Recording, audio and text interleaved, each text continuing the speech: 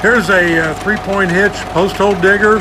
It's got a pretty good heavy 9-inch auger on it. Nice heavy frame. That's an I-beam construction. There's the gearbox. Uh, kind of looks like the differential out of a car, maybe. Uh, the I-beam construction on the boom, and then a channel uh, which uh, supports that uh, that boom. It's got replaceable points on the bottom. It's got a hook on the end of that boom. You can make a boom pull out of it if you want to drop a pin and take that auger off right there. There you can get a good view of that I-beam. It's a three-point post hole digger. I think it might be a Ford, but it's under our lot for sale.